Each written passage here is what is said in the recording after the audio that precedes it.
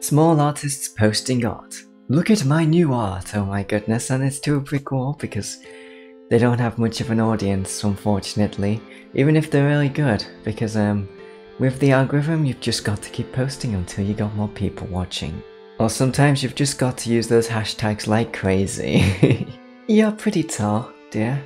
Do you play basketball? Man, you're pretty tall. Are you a basketball player? Bro, you're tall. Do you play basketball? Why don't people ask if I draw furry NSFW? Oh my gosh. But yeah, people instantly think if you're tall, you equal basketball player, especially if you've got muscles. So, yep. And I don't think the NSFW thing is gonna cross most people's minds though.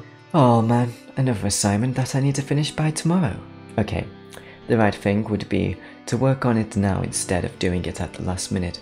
But I do work efficiently under pressure, so I shall do it later. Honestly, same, but then when I'm under pressure, I sometimes have panic attacks, so not the best for me.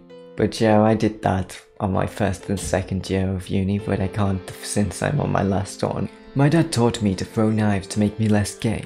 Now I know how to and throw knives. Oh my gosh, yeah.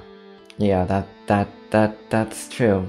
Like they would tell you something to make you less gay, but then you end up knowing that and knowing to do the thing that's said in the text there.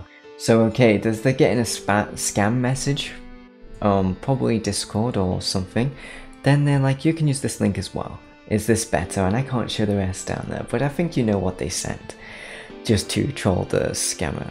And yep, they blocked them and they probably got blocked back too. Anyway, if you enjoyed the video, make sure to subscribe. I shall see you next time and do this to scammers if you ever see them. Anyway, bye bye.